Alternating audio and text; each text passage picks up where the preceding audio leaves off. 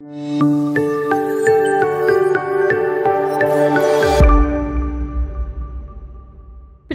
explain the economic uh, syllabus of economic optional and could you please uh, elaborate elaborate the resources we can use? Obviously, ma'am. See, just like any other optional subject, this optional subject also has got two papers, paper 1 and paper 2. In paper 1, we have got microeconomics, then macroeconomics, banking and public finance, international economics, growth and development. So these subjects comprise of paper 1. If we talk about the resources of these different aspects of economics, so for micro, we can use HL Ahuja, a good reference book. Yes, Okay. sir.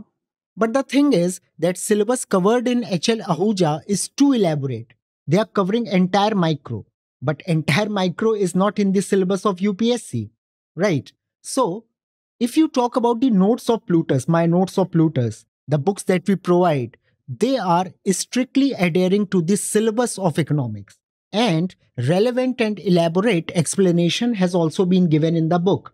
So, syllabus से stick कर रही हैं plus detailed explanation भी है ठीक है लेकिन फिर भी अगर हम रेफरेंस बुक की ही बात करें तो माइक्रो में H L Ahuja for macro Froyen it's a good book then, if you talk about banking and public finance, so H.L. Bhatia, Indian author, but he's covering public finance elaborately.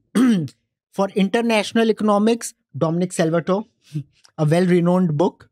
And for growth, again, I'll suggest for growth and developmental economics, the books available in market, they are not adhering to the syllabus of UPSC. So I will suggest that the notes of Plutus IAS, they are strictly in accordance to the syllabus of upsc if you talk about growth and development economics okay so these are some of the reference book for paper 1 indian economy now see paper 2 is of indian economy and indian economy is also in the prelims the Yes, questions of Indian economy are asked in the prelims portion plus in GS paper 3.